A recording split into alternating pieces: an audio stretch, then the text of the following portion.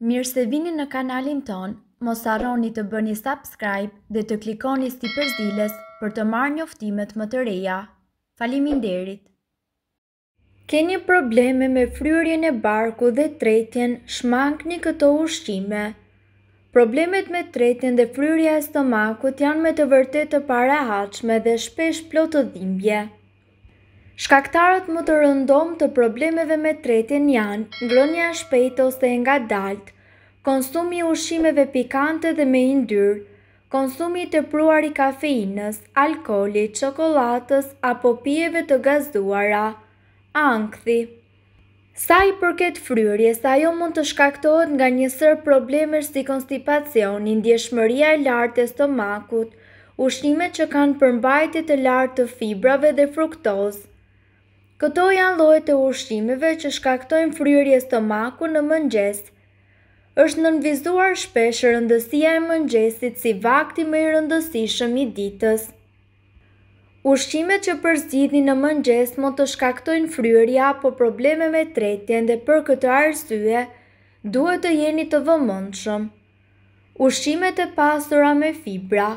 Fibra është shumë e rëndësishme për tretjen, por nëse ajo merret në sasi të mëdha në një vakt të vetëm do të shkaktojë padyshim probleme me tretjen dhe fryrje.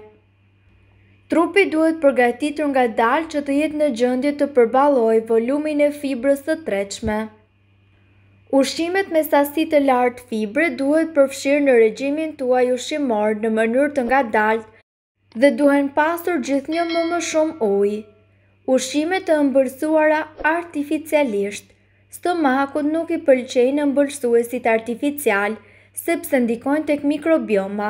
Konsumi i tepruar i këtyre sheqernave mund të shkaktojë fryrje, por edhe diarre.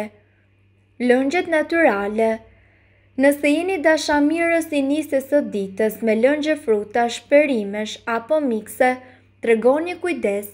Lëngjet, përfshirë këtu edhe ato të selinos, nuk përshtaten mjaft mirë me stomakun dhe mund të shkaktojnë fryrje dhe probleme me tretjen.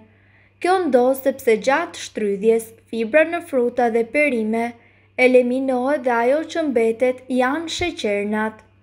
Në vend të lëngjeve të thjeshta, përpiquni të kombinoni lëngjet e frutave me të perimeve, duke i përzier në mikser dhe duke i pasuruar me fara të shëndetshme dhe kos.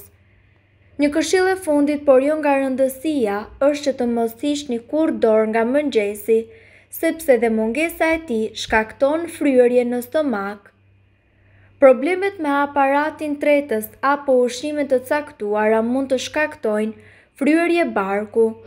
Ndonëse kjo gjendje nuk zgjat më shumë se disa orë, mund të ndodhë të bëni të njëjtat gabime dhe fryerja e barkut të mos ju largohet për ditë me radhë, duke ju bërë të ndiheni të lodhur dhe të përgjumur. Këtu do të rendisim të gjitha veprimtaritë që mund të shkaktojnë gazra dhe jo vetëm. Po hani shumë shpejt. Ngrënia e ushqimit shumë shpejt që ju e gëlltisni ju bën të gëlltisni dhe ajër. Kjo është arsyeja kryesore që fshihet pas fryrjes së barkut.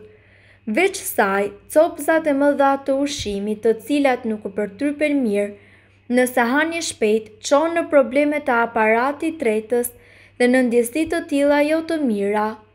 Konsumimi i jeshillëqeve të gjalla. Të pasura me vitamina thelbësore dhe fibra, jeshillëqet e pagatuara jo vetëm që do të furnizojnë organizmin me lëndë ushqyese, por do t'ju krijojnë idenë e fryrjes së barkut. Kjo e gjitha falë fibrave të cilat më parë duhet të kenë kaluar në një proces gatimi. Ushqimet e paketuara, drithërat e mëngjesit, ushqimet e paketuara dhe të konservuara janë të pasura me sodium, elemente që është përgjegjës për fryrjen e barkut. Nëse ju merrni më shumë se dy mijë e treqind miligramë sodium, e sigurt që do të ndjeni fryrje barku dhe do të keni gazra. Një dietë e varfër në kalori është gjithashtu një ndër arsyet që ju shkakton probleme me aparatin intestinal. Në anën tjetër një dietë e pasur në karbohidrate, sidomos kur këto të fundit janë ëmbëlsues artificialë dhe nuk treten mirë nga aparati tretës do të shkaktonte fryrje barku dhe parehati. Pijet me gaz nuk shkaktojnë fryrje barku vetëm nga prania e bulzave të gazit, por për shkak të përmbajtjes së lartë të sheqerit, ëmbëlsuesi artificial që tretet me vështirësi. Përtypja e çamçakëzit me gojën hapur do të mbushë zorrët tuaja me ajër, duke ju shkaktuar ndjesinë e fryrjes. Darka si vakti i fundit i ditës luan një rol të rëndësishëm në mbarëvajtjen e punëve në organizëm, jo vetëm gjatë natës. Përzgjedhja e ushqimeve të duhura është një faktor jo vetëm i gjumit të qetë dhe të patrazuar, por edhe i problemeve me tretjen. Një nga këto probleme është fryrja e cila është e sikletshme dhe mund të na lërë pa gjumë gjithë natën.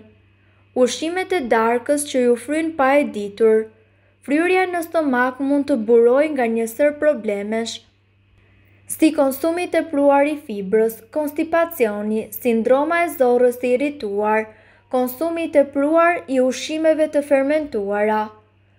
Këto ushqime kanë tendencën të shkaktojnë fryrje në stomak nëse i konsumoni në darkë. Mishi i kuq me yndyrë. Ushqimet me bazë shtazore dhe tepër të yndyrshme janë të tmerrshme për tretjen. Ato kërkojnë shumë kohë për t'u tretur dhe shkaktojnë fryrje dhe rëndesë në stomak. Përpos tyre, kripa luan një rol në tretje sepse organizmi mbledh më shumë ujë prej saj. Ushqimet pikante Ushqimet pikante dhe me fibër fermentohen në stomak sepse kërkojnë shumë kohë për t'u tretur, duke shkaktuar kështu një grumbullim të dhimbshëm të gazrave në stomak. Fryrja që do të përjetoni prej këtyre ushqimeve do t'ju lërë pa gjumë gjatë natës. Brokoli, lulelakra dhe lakrat e vogla. Ushqime të tilla kanë tendencën të shkaktojnë fryrje dhe gazra tek disa të tjerë. Për më tepër ato përmbajnë një karbohidrat kompleks që fermentohet në stomak dhe nxit prodhimin e gazrave. Ekspertët këshillojnë që ushqime të tilla të integrohen ngadalë në regjimin ushqimor derisa stomaku të mësohet ngadalë me tretjen e tyre. Por cilat janë ushqimet që eliminojnë fryrjen e stomakut? Kivi. Kivi është një frut i pasur me fibër. Ekspertët thonë se ngrënia e dy frutave në ditë për katër javë me radhë eliminon konstipacionin dhe fryrjet e stomakut.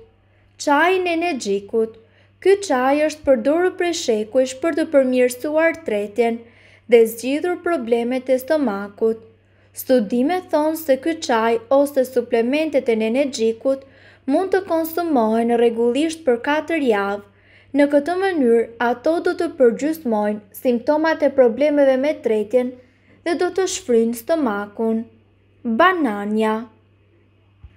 Ky frut është një burim i pasur i fibrës, e cila ushqen bakteret e mira në stomak dhe përmirëson tretjen. Gratë që hanë dy banane në ditë për dy muaj me radhë kanë një bark më të sheshtë. Kefiri Kefiri përmban një enzimë të rëndësishme që shpërbën laktozën, një sheqer tek qumështi që shkakton probleme me stomakun. Pirja e kefirit zgjidh problemet me tretjen dhe eliminon fryrjen dhe gazrat me të paktën 70%. Xhenxhefili, Xhenxhefili është përdorur prej mijëra vitesh për të qetësuar stomakun dhe përmirësuar tretjen. Ai qetëson muskujt dhe lejon trupin të nxjerrë gazrat më me lehtësi. Xhinxheroli, Një prej përbërësve kryesorë të këtij zhardhoku ofron përfitime të shkëlqyera për stomakun dhe tretjen. Pjepri, Pjepri ka aftësi çliruese dhe ndihmon në eliminimin e ujërave të tepërt nga organizmi. Ai shfryn stomakun, por edhe shërben si një zëvendësues natyral i elektroliteve sepse është i pasur me kalium. Nëse doni të dëgjoni videot tona që ne postojmë çdo ditë, kliko Subscribe. Ju ftojmë gjithashtu të bëni like në videot tona Nëse i keni dëgjuar dhe pëlqyer ato, faleminderit që e patë videon tonë! Shpërndajeni këtë video në profilin tuaj në mënyrë që të informohen edhe shokët tuaj! Faleminderit!